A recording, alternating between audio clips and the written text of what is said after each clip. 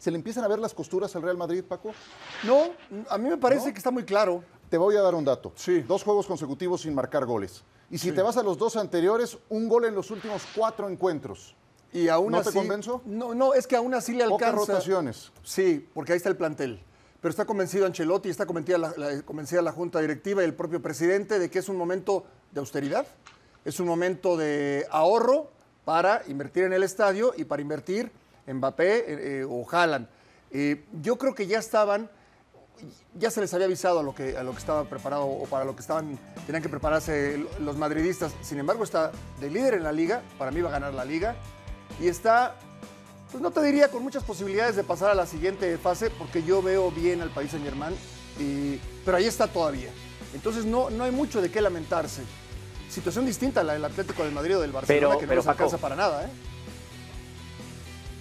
Sí, Pero seamos, seamos realistas. Seamos realistas en dos sentidos. Por un lado está líder, está líder destacado porque ni Real Madrid, ni Barcelona ni Atlético de Madrid están finos. El Sevilla que ha tenido oportunidades de alcanzarle, empataba el Sevilla y empataba el Madrid, o empataba el Madrid, empataba el Sevilla y el Betis viene por detrás y no le va a dar porque está en tres competiciones. Eso es bueno para el Real Madrid, pero no es bueno en cuanto a su juego. Y ahora voy.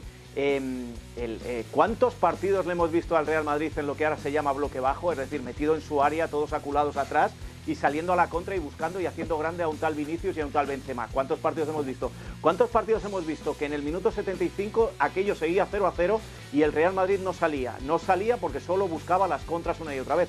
Estoy pensando en el partido, y ese no iba 0 a 0, en el partido de Supercopa frente al Barcelona, donde se criticó a Ancelotti por jugar muy a la defensiva y salir a la contra, al estilo Cholo Simeone, al estilo más puro de Mourinho. ¿Cuántos partidos de esos hemos visto? No, ¿Qué muchos, pasaba? no, de acuerdo. Al final, un disparo de Asensio al que No, se le había acuerdo. estado criticando. Sí, sí, sí, hay muchos, sí hay muchos. De acuerdo, Manu, pero, Eh, pero eh, sigue de eh, líder. Un, un- un disparo de Asensio al que se le había criticado todo el partido porque no había brillado, hacía un golazo y pasaban dos cosas. El Real Madrid era más líder, era más grande y Asensio era un jugador que tenía que pensar en el Mundial. Cuando cinco minutos antes se estaba diciendo que qué mal partido de Asensio. De Vinicius hemos dicho que, bueno, se ha dicho que podría ser el futuro balón de oro y que podría estar No, entre no, los tres mejores de este momento. Lleva cuatro, no, seis partidos lleva sin marcar. Seis partidos. Se dijo que era porque no estaba Benzema. Pues ahora Bueno, está lo que quería hacer vender Es decir, es que decir no me vale el argumento de es líder y va a ganar la liga para defender que este Real Madrid está haciendo bien Es las que cosas no tiene que defenderse, me parece. Porque hay ¿no? otros no, no tiene que que defenderse porque ahí están los números. Yo escuchaba y leía, es que eh, al Barcelona le tocó otra suerte. Jugó así de mal como el Madrid, pero se llevó cuatro. Bueno, está bien, el Madrid se llevó uno y tiene la posibilidad de revertir la situación. Y el Madrid juega a nada,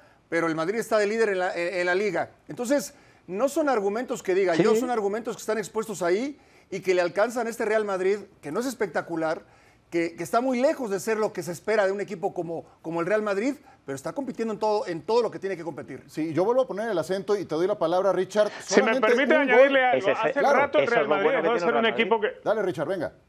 A ver, hace mucho tiempo el Real Madrid dejó de ser un equipo que te llene el ojo, hace rato. Y no, y no de Ancelotti, de antes, del mismo Zidane.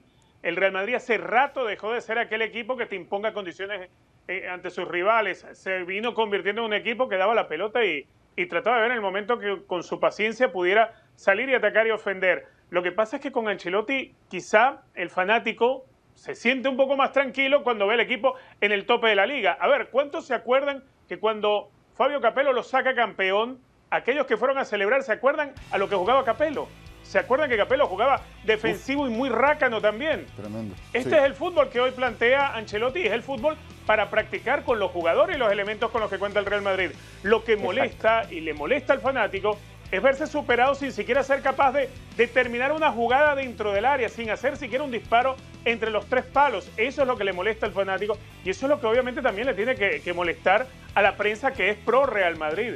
Pero definitivamente hace rato que el Real Madrid no es un equipo que vaya y ponga condiciones en Europa, hace rato. Este es un eh, estupendo tema y por eso lo elegimos de inicio. Vamos a hacer una ronda adicional antes de, de ir a una pausa. Vuelvo a lo mismo. Son, es muy poca la producción ofensiva y comienzo contigo, Paco, una vez más. Un gol nada más en los últimos cuatro partidos. Ciertamente contra el Villarreal fueron los postes y Rulli. Sí, fue un Real Madrid más ofensivo, pero contra el Paris Saint-Germain apenas tiraron a puerta. ¿Es esa falta de producción goleadora un problema de qué tamaño en este momento para el Real Madrid? Lo vamos a ver, por ejemplo, en, lo que viene. Lo, lo vamos a ver en el partido de vuelta contra el Paris Saint-Germain. Lo vamos a ver en la recta final de la liga. Me parece que ahí es donde lo vamos a ver. Hoy todavía, y coincido plenamente con tanto con Manu como con Richard, hoy todavía no lo dimensionamos porque les alcanzó.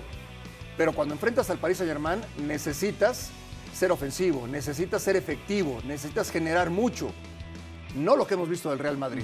Ahora vamos a empezar a dimensionar de todo lo que se ha hablado en el primer semestre del Real Madrid, inclusive para la recta final, cuando esté el título ya eh, en las últimas fechas, cuando ya se cierre el campeonato, ahí vamos a ver todo lo que hoy le falta al Real Madrid qué repercusión tiene en la recta final del torneo, en la liga y desde luego en el partido de vuelta contra el París Saint-Germain. Para ese juego, Manu, todavía faltan tres compromisos de liga para el Real Madrid. El siguiente es contra el Alavés, un Alavés emproblemado. Pero ¿se puede convertir en un partido trampa con este presente que vive el Real Madrid? Pues fíjate, yo la sensación que tengo es que le va a venir bien ese partido por lo débil que llega el, el, Alavés. Muy bien en casa desde que Calleja cogió el equipo, pero, pero muy mal fuera.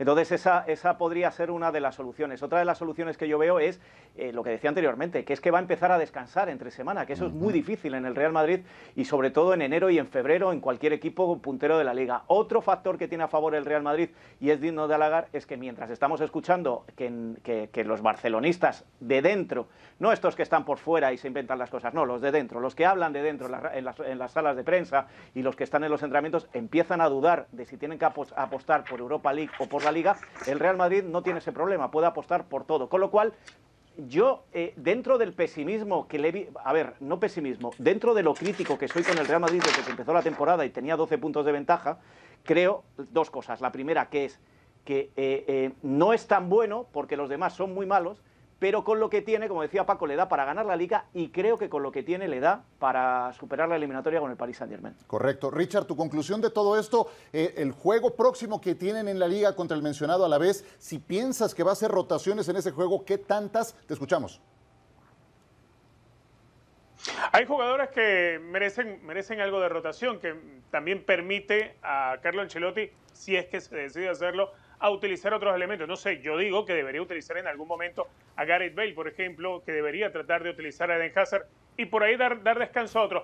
Hay otros como el caso de Karim Benzema, que justamente lo que le hace falta es ritmo. Benzema viene de una lesión, llegó muy justito al partido frente al Paris Saint-Germain y creo que no sería muy buena idea dejar a Karim Benzema fuera de este partido tratando de pensar en, en lo relajado que pueda llegar para cuando le toque jugar la vuelta ante el Paris Saint Germain. Justamente Benzema lo que necesita es ritmo. Y lo decía también en la conferencia de prensa Carlo Ancelotti, el tema de la falta de definición, de la falta de tiros a puerta. Él confía en que se resuelva precisamente con Karim Benzema estando al 100% en cuanto a ritmo. Y eso es parte de lo que creo yo va a ensayar para este fin de semana. Quizá habrá algunos elementos que puedan ver acción y otros como Karim Benzema pues tiene que jugar sí o sí porque necesita el ritmo. Correcto. Pues yo creo que va a haber Madrid... pocos cambios mañana. Perdón, Manu que creo que mañana va a haber pocas rotaciones. Pocas rotaciones, tal vez un par. Por ahí escuchaba que Valverde es una alternativa. Vamos a ver, le distingue a Ancelotti el que hace muy a, pocos a, eh, movimientos. Mira, tal vez este es el momento, sí. Cuando Ancelotti, cuando Ancelotti ve el peligro, pone a los que confía en ellos. Uh -huh. Y Valverde no le llena el ojo, y esto lo sabemos, por muy bueno que sea sí. Valverde, Camavinga no le llena el ojo, eh, Marcelo está para lo que está, la defensa no la va a tocar y arriba va a jugar a lo mejor Rodrigo en lugar de Asensio Asensio en lugar de Rodrigo. Uh -huh. eh, esta es mi opinión y por lo que ha trabajado en los dos días que ha podido trabajar. Eh, cuando Ancelotti está con el agua al cuello en las críticas y juega en casa, apuesta por los mejores que él piensa y ya sabemos quiénes son.